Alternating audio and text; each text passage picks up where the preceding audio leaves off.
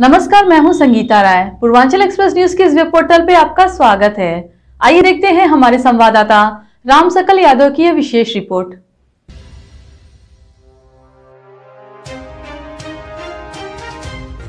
Bharatiya Janata party के तीन दिवसीय कार्यकर्ता प्रशिक्षण पहुँचे प्रदेश के परिवहन मंत्री दिया शंकर ने कहा कि पार्टी कार्यकर्ताओं को प्रशिक्षित किया जा रहा है।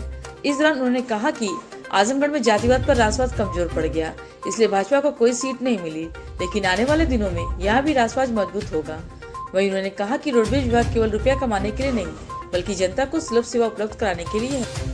नगर के सिदारे स्थित एक होटल सभागार में भारतीय जनता पार्टी का तीन दिवसीय प्रशिक्षण कार्यक्रम का उद्घाटन क्षेत्रीय मंत्री डॉक्टर धर्मेंद्र सिंह ने किया। प्रशिक्षण शिविर में कुल तेरह विषयों पर पार्टी के कार्यकर्ताओं को प्रशिक्षण दिया जाएगा। प्रशिक्षण शिविर पहुँचे प्रदेश के परिवहन मंत्री दिया शंकर सिंह ने कहा कि आजमगढ़ ज़िले में पार्टी को एक भी सीट न मिलने के पीछे जातिवाद हावी रहा। उन्होंने कहा कि जातिवाद पर राष्ट्रवाद कमज़ोर पड़ गया। लेकिन आने वाले समय में ज़िले में भी राष्ट्रवाद मज़बूत होगा। प्रदेश में परिवहन विभाग का खस्ता हाल पर उन्होंने कहा कि ऐसा नहीं है। उन्होंने कहा कि सीएम योगी आदित्यनाथ कोरोना काल में परिवहन निगम को संकट का साथी कहा गया उन्होंने कहा कि कोरोना काल में जब सब सेवाएँ बंद थी परिवहन निगम की सेवाएँ प्रदेश ही नहीं, बल्कि दूसरे राज्य के लोगों को उनके घर तक पहुँचाने का काम की है। उन्होंने कहा कि परिवहन निगम रुपया कमाने का ज़रिया नहीं, बल्कि जनता को सुलभ, सस्ता सेवा उपलब्ध कराने का परिवहन निगम का उत्तरदायित्व है।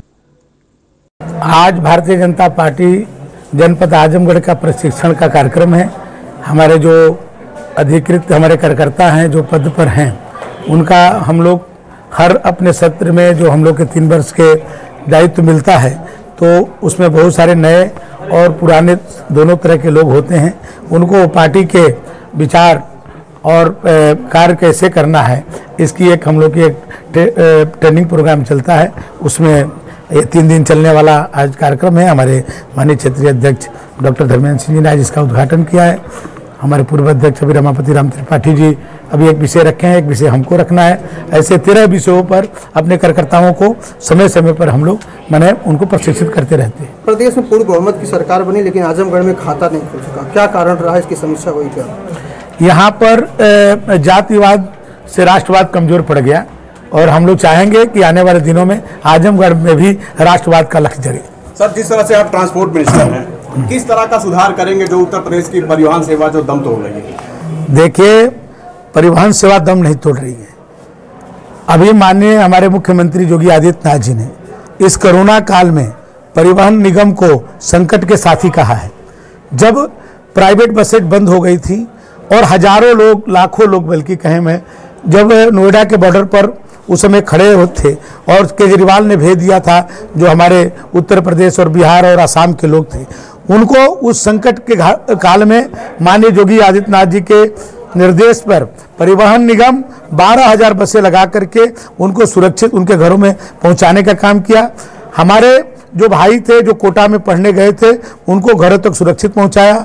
उसके बाद जो इलाहाबाद में हमारे बच्चे पढ़ रहे थे, उनको भी उनके घरों में सुरक्षित पहुँचाने का काम जो किया तो ये परिवहन निगम ने किया। अभी अभी यूक्रेन में जो ये इतनी बड़ी घटनाएँ हुई वहाँ भीषण जो युद्ध चल रहा था, वहाँ से जो लोग आए, केवल उत्तर प्रदेश के ही नहीं मध्य प्रदेश के लोग, महाराष्ट्र के लोग, बिहार के लोग, उनको भी परिवहन निगम उनको घरों तक सुरक्षित पहुँचाने का काम किया। तो हमारा परिवहन निगम केवल पैसा कमाने के लिए नहीं है, जनता के कौन से, में जो सुलभ सेवा हो सकती है, उसके लिए जहाँ पर जनता की अभी जहाँ पर प्राइवेट बसें नहीं हैं, वो आज भी लोग पैदल चलते हैं, वहाँ परिवहन निगम काम करता है। केवल आर्थिक के आधार पर इसके मूल्यांकन नहीं किया जा सकता। हमारे कार्यकर्ता हैं सीखने का विषय है। भारतीय जनता पार्टी हर साल कार्यकर्ताओं का प्रशिक्षण करती है। चाहे जितने भी वरिष्ठ कार्यकर्ता हैं, उसी प्रशिक्षण के क्रम में आप सबको हमारे तीन दिन लगातार, तेईस, चौबीस, पच्चीस कार्यकर्ताओं को प्रशिक्षित किया जाएगा। उसी क्रम में आज ये प्रशिक्षण रखा गया। आज पहला दिन है, जिसके उद्घाटन हमारे क्षेत्रीय अध्यक्ष धर्मेंद्र सिंह किए हैं। फिर पहला सत्र, दूसरा सत्र, फिर पाँच सत्र आज है।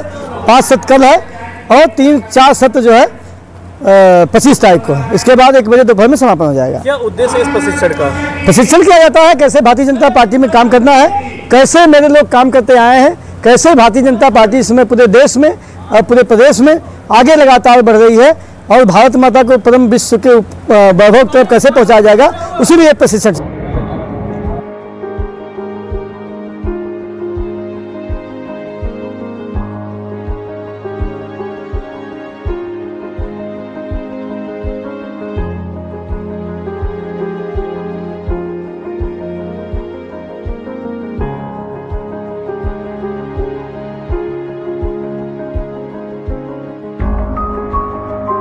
अगर आपको हमारी खबर पसंद आई हो तो हमारे चैनल को लाइक, सब्सक्राइब और शेयर ज़रूर करिए।